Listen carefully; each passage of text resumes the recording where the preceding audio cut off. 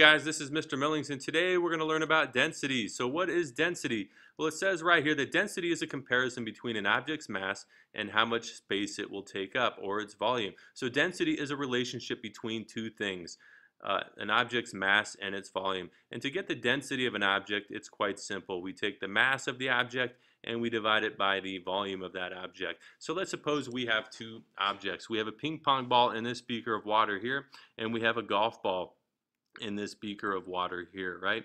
And if we take a look, the ping pong ball is floating in this water here, and the ping pong ball sinks in this water here. Well, why? Why does that happen? Well, in order to figure this question out, uh, we have to take a look at each substance's density. All right, so let's take a look at that. If we take a look here at the ping pong ball, the mass of a ping pong ball is about 2.7 grams, and its volume or the amount of space it takes up is about 33.5 cubic centimeters. Okay. So if we do the math here, if we take the mass, which is 2.7 over 33.5, because the numerator is going to be less than the denominator, we're going to have a value that is less than 1. Okay? If we take a look at the golf ball over here, right, its mass has a is 46 grams. It has a mass of 46 grams, and its volume is about 40 cubic centimeters. Okay, so the golf ball is just a little bit big, bigger than the ping pong ball, but much heavier. And if we take a look at the golf ball here, in order to figure out its density, we must take its mass divided by its volume. So if we take the mass over volume here, right, if we're going to have a numerator bigger than the denominator, then we're going to have a final answer that is greater than 1. And anytime you have a density that is greater than 1, it will, it will sink in water. All right, and that is because the density of water is 1 gram per milliliter. This means that for every 1 milliliter of water, it's going to have a mass of 1 gram, or every 1 gram of water, will take up one milliliter of space. Now what you need to know is that when we're measuring the volume of things, milliliters and liters is typically used for liquids and gases, whereas cubic centimeters or cubic meters is typically used for solids. And that's because one milliliter is the same thing as one cubic centimeter. So if you have 100 milliliters of water, this is the same thing as uh, 100 cubic centimeters of water. They're interchangeable. We just use milliliters for liquids and gases, and we use cubic centimeters for solids. So the density of water is 1 gram per milliliter or 1 gram per cubic centimeter. And then if the density of an object is greater than the density of water or greater than 1.0 grams per cubic centimeter, it's going to sink. So if we take a look at the golf ball here, it has nothing to do with the mass of this golf ball as to why it sinks. It has everything to do with the density. The density of this golf ball is greater than the density of water and therefore will sink. And if we take a look over here, this ping pong ball right here is going to float because it has a density that is less than the density of water. The density of water is 1.0 grams per milliliter or cubic centimeter. And if we take a look, this ping pong ball is going to have a density less than 1.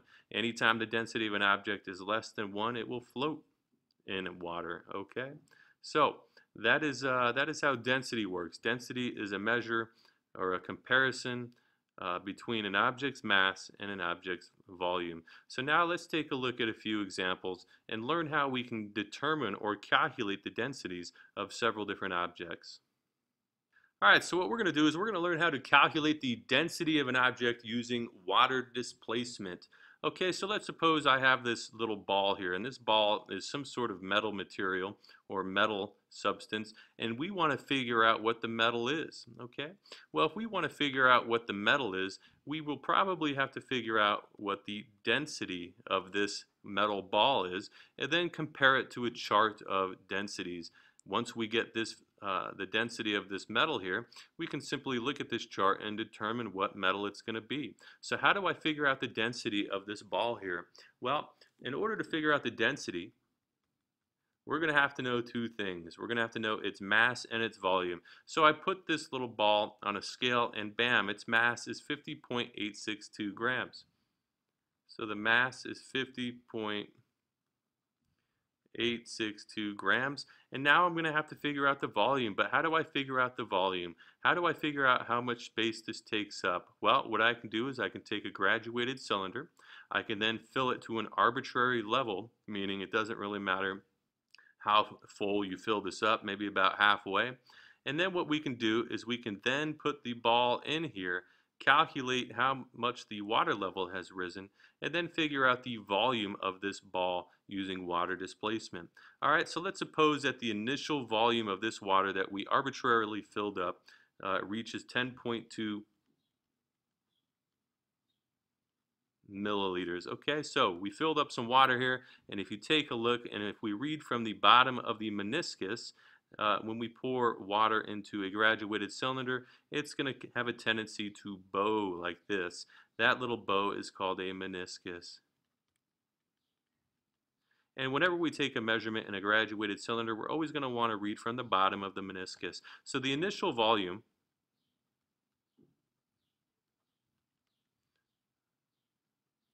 of this water here is 10.2 milliliters, okay? So now what we're going to do is we're going to put this ball in here and the water level is going to rise. This water level here is going to rise up. And uh, what we now need to do is figure out the new water level. Okay, we need to figure out uh, how much this water level has risen. So we have to figure out the, the final volume of the water that is in this this, uh, this graduated cylinder. So if we take a look very closely and if we read from the bottom of the meniscus, we can see that the final volume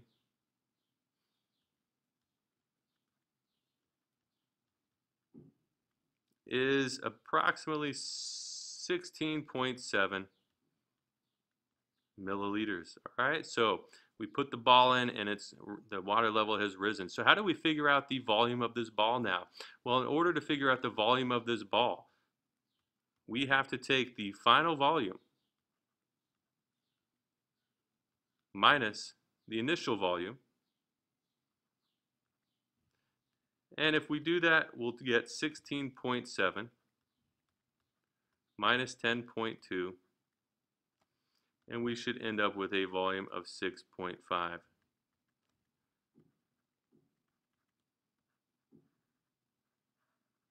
Okay.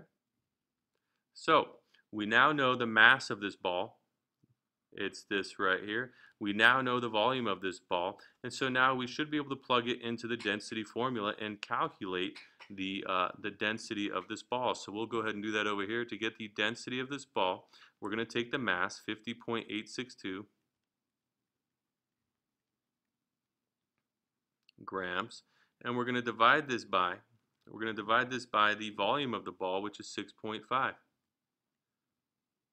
6.5 it looks like. I forgot my unit here this should be milliliters but since this is a solid object we'll actually just call it centimeters cubed. We put this in our calculator now and if we're using the correct number of sig figs we should end up with 7.8 grams per centimeters cubed Alright, so we need to use two sig figs. From an earlier video, we learned about significant vid, uh, significant figures. And so there's our answer. So the density is 7.8 grams per cubic centimeter. We can go down to this table now and take a look and which, uh, which metal does this uh, does this appear to be? Well, it looks like since right here we have a density of 7.87 and we're really close to that, that this little ball here is going to be iron. So we just learned how to calculate the density of an object using water displacement and from that we were actually able to determine what the unknown metal is by turning to a, a chart or a table of different metal densities. All right, so what about if we have a, a, a, a regular shaped object like a cube or uh, or something of that nature. Well, let's figure out how we can work problems out with that. All right, so here we go. We have this this uh, this little cubic box or this little uh, rectangular box here, and this is uh, this is actually a metal. So we have some sort of metal here that's in the shape of a rectangular box, and what we want what we want to figure out is the density of this, and we also want to figure out what substance this is. So what we have to do is figure out the density. We have to figure out the density by taking the mass and dividing by its volume. So what we've done is we've taken this bar here, we've put it on this scale, and its mass, it tells us, is 485.352 grams. But now, how do I get the volume? How do I get the volume of this, this unknown metal here? Well, what I'm going to have to do is measure it using some sort of meter stick. All right, so if we measure this here, uh, it looks like I've already measured it out for us. We have uh, the measurements of length, width, and height. And so we're going to multiply these guys together to get the volume of a rectangular box, its length times width times height. And when we put this in our calculator, we'll end up with 43 cubic centimeters. So we now know the mass, we now know the volume. It's simple now, in order to figure out the density of this unknown metal here, we'll take the mass, 485.352 grams, and we're going to go ahead and divide that by 43 cubic centimeters. And when we put this in our calculator, we'll end up with 11.3, that should be cubed, 11.3 grams per centimeter cubed. All right, if we're using the correct number of sig figs, this should just be 11 grams per cubic centimeter. And if we compare this to our table here, we've determined the density is 11.3 or 11 grams per cubic centimeter. Go to this table here and we can see that the density uh, of lead is about 11.3 grams per cubic centimeter. All right, so that's how we determine the density, I'm sorry, the density of, of regular shaped objects like cubes and spheres and rectangular uh, boxes, etc., etc. So now let's take a look at a few uh, word problems here. So here are the formulas. Density equals mass over volume, and we can manipulate these variables to get mass equals density times volume, or volume equals mass over density. And if you can't remember all of those formulas, you can go ahead and use this right here. Memorize this, and, and this should work. Density is mass over volume, volume is mass over density, and mass is density times volume. So let's apply these three formulas to, to three different word problems relating to density. All right, it says calculate the density of an object that has a mass of 250.23 grams and its volume is 50.0 milliliters. Will it sink or float in water? So we're asked to calculate the density of this object here. In order to get the density, we have to take the mass and divide it by its volume. So if we take a look here, this right here is going to be its mass because we have a unit of measurement of grams and this right here is going to be its volume because we have milliliters. So the mass is 250 0.23 grams and the volume here is going to be 50.0 liters. Put this in our calculator and we end up with 5.00. Sorry, this should be milliliters.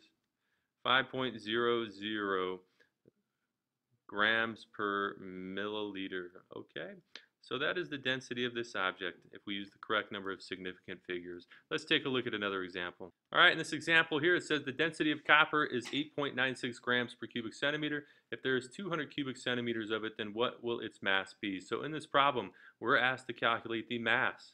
Mass, if you go back two slides, I'm sorry, if you go back just a few minutes, you'll see that mass is going to be equal to density times volume. So the density of this object, if we take a look right here, it tells us the density is this right here, 8.96 grams per cubic centimeter. And the volume is 200 centimeters cubed.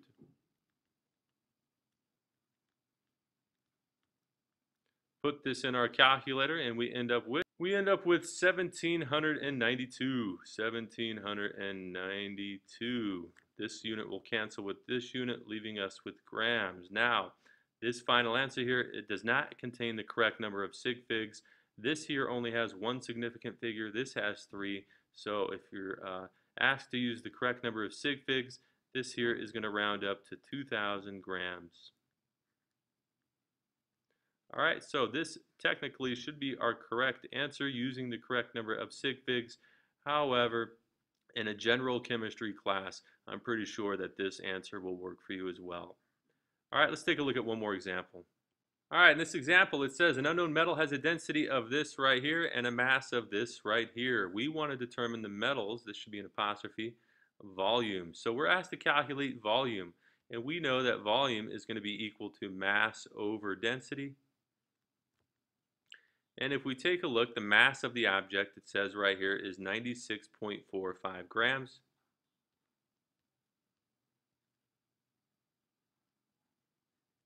And the density of this object is going to be, it says right here, 5.6